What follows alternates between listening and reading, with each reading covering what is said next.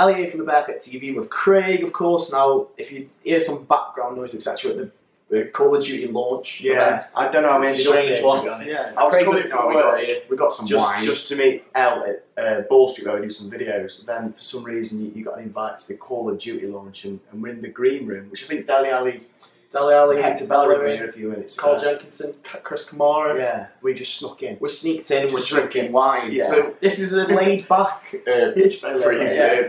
Pre- preferred 11. Yeah. So let's run through the team. Of course, I don't know why I've got this now. Uh, of course, Lee Grant has to start. Lee Grant has to start. That's that's that one done and dusted. I think that just the back four pick itself. It Bardsley, does. Bardsley, Shawcross, Martins, Indi, Pieters. Pieters. Although Pieters was a bit daft on Monday, but, Yeah, but he's nonetheless, yeah, he moving. moved. Um, that's that. That's the back four done. Now, Now, that's sorted. now in midfield, Geoff Cameron's out. So who's partnering Glenn Whelan? Does it Charlie Adam again? Do you give Imbula a shot? It's. I think Charlie was quite good. I thought Charlie Adam was very good going forward, but the problems with Adam, as has always been the case, is defensively, he's a bit slow, and that bit? provides. He was he's clocked as the second or first slowest player in the Premier League. Was he? Yeah. I don't know. I'm In a crouch for one and two. Yeah, don't know. I'm surprised. We've got the top two. It's good. Um, so it'll be Crouch. Uh, not Crouch. It'll be Whelan and Adam. I think they're very good players. I do rate Whelan and I rate Adam going forward. Combined as defensive midfielders away from home, I think the word slow slightly springs to mind. Um, but at the same time, you can't change a winning team. So I, I don't know. I, I probably will go with them. Yeah, it's probably not the right time for Buller to come back into No, the side. it's He's going to not. play him and him have a laboured performance. No. No. Um, obviously, Joe Allen keeps his spot. Obviously, Wee Joe keeps his spot. Yeah. And we'll just finish the places we know. Bony Yeah. will also start up top. Those two linking together, as shown in Monday Night Football. Looking good. Assist.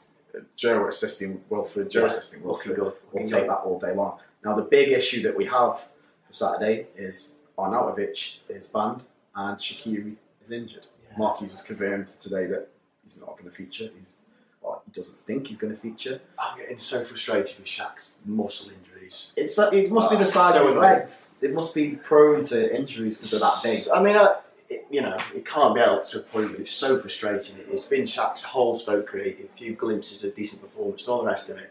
Then he's injured, and it's it's doing me head in now. It's, a, It's doing me head bad, in. but uh, Just when he gets going, this happens. it always happens. Yeah. He was in some good form. He was. Yes. But we've got to pick who's on our wings. I think Sobhi after Monday, and you know, bet, forget Monday anyway. After you know that performance, he, he, he keeps that place. Yeah, I think he's been very, very unlucky not to make more squads and sub appearances since the whole game. So yeah, so would be straight in there. Straight in. Now, right midfield. So I what- know who you want, and I know who I want, and they're Yeah. different. So let us know if you agree with who you agree with. There might be someone who wants the other choice that none of us have even got. Option number three. Craig wants Jon Walters. Say why? I'm going to get slaughtered for this. I guarantee more people will agree with your choice. The reason I'm going with Jon Walters is because he's played on the wing dozens and dozens of times for Stoke. That, that's his general position, really, for me at Stoke. He's experienced. West Ham away is going to be very difficult, and we need somebody that more than anything is going to work his bollocks off. Somebody that's going to trap and protect that right flank. Um, the other options, My which- option, which I'm going to go for, yeah, is on. Bojan.